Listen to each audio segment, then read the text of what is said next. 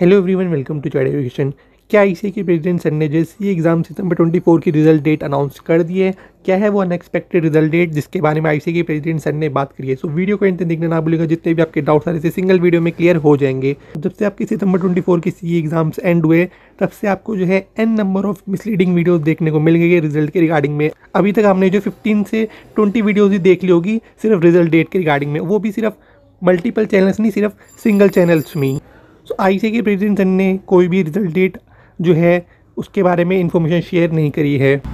जिन्होंने इस चैनल में प्रीवियस वीडियो देखी है, उनको पता ही होगा कि मैंने आपको प्रीवियस वीडियो में बताया था। उन्होंने इन्फॉर्मेशन शेयर करी थी कि कितने स्टूडेंट्स ने जो है एग्ज़ाम्स में वो एडमिटेड थे, चाहे वो सी ए फाउंडेशन लेवल से हो, चाहे वो सी ए इंटरमीडिएट लेवल से हो। बात करें कि आपका रिज़ल्ट कब तक डिक्लेयर हो सकता है? सितंबर ट्वेंटी फोर का बिना आपका टाइम वेस्ट किए तो आपका जो रिज़ल्ट है, अगर इंस्टीट्यूट टाइमली डिक्लेयर करने के बारे में सोचेगी तो वो सेवन एट नाइन तक डिक्लेयर हो जाना चाहिए। मान लीजिए अगर कुछ डिले रहता है तो टेन इलेवन ट्वेल्व भी आपका रिज़ल्ट जा सकता है। ऑल दो होना तो नहीं चाहिए, लेकिन हाँ सेवन एट नाइन तक आपका रिज़ल्ट डिक्लेयर हो जाना चाहिए सेवन एट नाइन्थ नवंबर तक।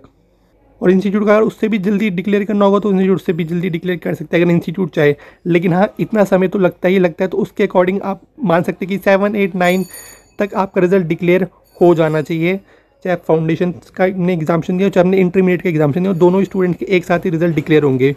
तो मैं तो प्रे करूँगा कि आप अच्छे नंबर से एग्जामेशन को क्वालिफाई कीजिएगा और बेस्ट से सभी सी स्टूडेंट्स को उनके रिजल्ट्स के लिए कमेंट में ज़रूर लिख कीजिएगा कि I am going to qualify अगर आपने सी इंटरमीडिएट का एग्ज़ाम दिया तो सी इंटरमीडिएट एग्ज़ाम अगर आपने सी फाउंडेशन का एग्ज़ाम दिया तो C foundation exam thank you so much for watching the video